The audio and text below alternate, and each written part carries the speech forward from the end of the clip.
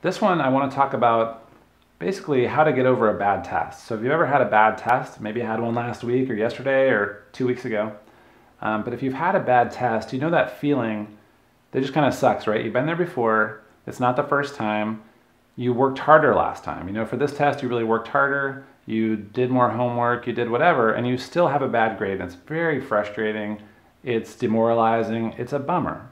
But um, I want to tell you this time not a story of one of my students that I've taught, but actually a story of myself in high school because, you know, I'm obviously a math person pretty much, but I did get crushed by trig, like all of trig. And I went through that series of events and I know what it's like and I know how I got out of it. So I just want to encourage you that if you, you know, listen to my story right now, but then also check out all my study tips videos, you're going to find a combination of tricks like making yourself some practice tests or doing the cookbooks that I'm trying to make famous on all these videos because I really want people to use them because they're awesome and they help me so much and they help my students so much. But um, you're going to find a series of steps that you can take to stress less and do better in math. It's just a matter of throwing some stuff against the wall and seeing if it sticks. So here's what happened to me in trig, and hopefully this can help you. So it turns out that all these other students were just confused as I was, and we had this horrible teacher who couldn't explain it. So you take something that's total gibberish, and have it explained to you by someone who only speaks gibberish, and oh my God, you're screwed.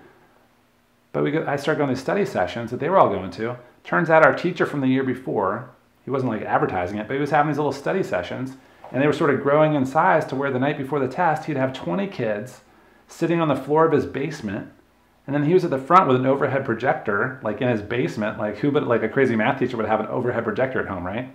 This guy had a math projector at home, and he's teaching trig, and in one hour, maybe one and a half hour tops, he can teach all these people how to do everything they need to know for the test the next day. It was crazy. And it worked. So all this stuff that I thought was completely maddening and ridiculous and confusing and uh, became doable because he taught us in a step-by-step way how to solve each type of problem. And that's so that's the approach I take in my tutoring videos on ThatTutorGuy.com, like all my math videos about every little topic in algebra 2 and calculus and everything. Those are all step-by-step videos where I'm trying to impart that wisdom, like show you how to do these problems step-by-step the right way. But also my other tutoring, my study tip videos, like the cookbook technique, you know. Um, in there I'm trying to show you how to use cookbooks and write down the steps step by step. And this is all stuff I learned in these study sessions for trigonometry. So that's sort of the approach you learn to take towards math. Is not look at it as something you're supposed to understand, but look at it as just like it's one type of problem. There's a, you know maybe three things that I need to do to solve it. Next problem. Step by step, plug and chug, cookbook. That's what worked for me, and that's what works for most of my students.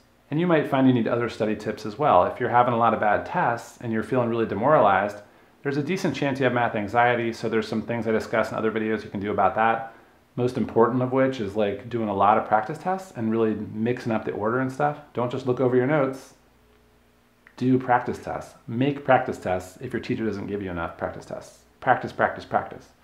But um, overall, the same way that trig turned around for me, it can turn around for you. So whatever class you're in, you're struggling with, maybe math has been a problem for your whole life, but it's going to turn out that if you work hard, and not just harder but smarter, if you try some techniques like making cookbooks, you know, maybe you have a new routine before each test. I would encourage you, if you're not a math person, if what I'm saying sounds like a lot of work, you know, unfortunately it is. If you really are a math anxiety person, it's going to be a lot of work.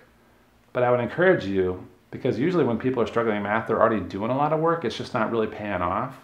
But just watch all my study tips videos. Try using internet math videos, either mine or if you can find good stuff on YouTube. Um, but do something like that and watch the study tips and see if you can find some techniques that work for you. Because I promise you, anyone can do well enough in math to get through it to do what you want to do. If you're trying to get in nursing school, you know, if you're just trying to get like graduate high school and get into a decent college, whatever you know sort of level you're at, and whatever your goals are, anyone can get a good enough grade in math. I'm not saying everyone can be an A plus student. I'm not saying you'll ever love math. You'll probably always, at best, be kind of comfortable with it.